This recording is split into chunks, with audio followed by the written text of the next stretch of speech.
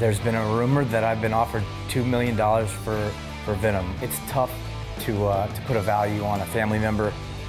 He, he's definitely up there as some of the most uh, valuable or highest priced American bullies.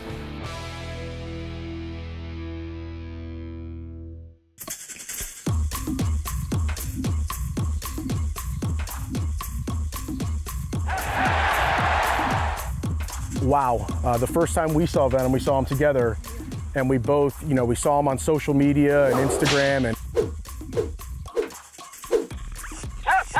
things like that, and then seeing him in person for the first time to see, you know, a dog like him, it was it was wow. It was very it was very cool. Wouldn't you think?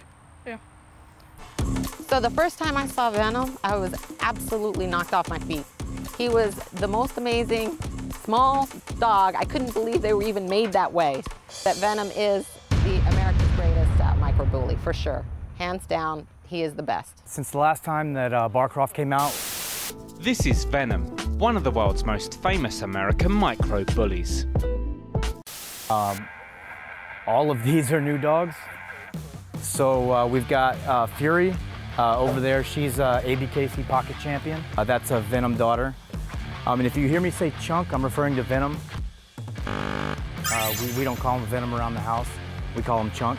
We've got a mini Chunk, is the one who's a little uh, chunk, a clone of Chunk. Uh, Savage, um, that's his son right there. Uh, Snow, which is the little white one right there.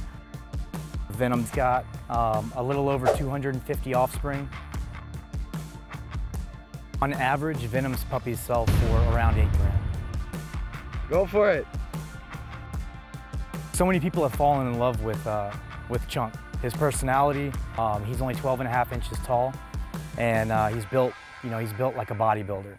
American bullies are amazing dogs. Even pictures, they don't justify how awesome these dogs are.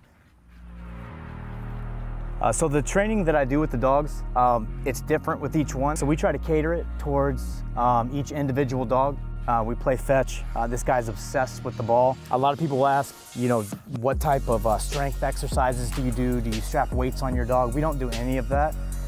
The genetics in our line is gonna is gonna produce that muscle regardless. I mean, I've, I've owned and uh, raised other breeds of dogs. Their, their diet isn't a whole lot different.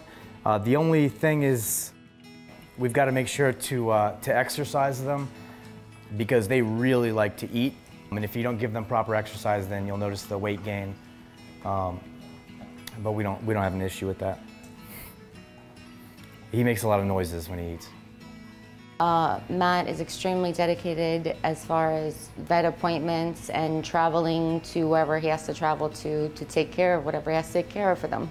I did not know the type of breed or much about American bullies, but since having them, uh, I realized that they're probably one of the best breeds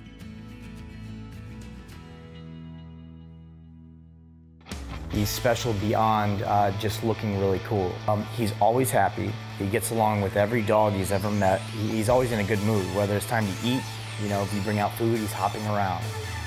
There's been a rumor that I've been offered $2 million for, for Venom. Uh, I've never been offered $2 million.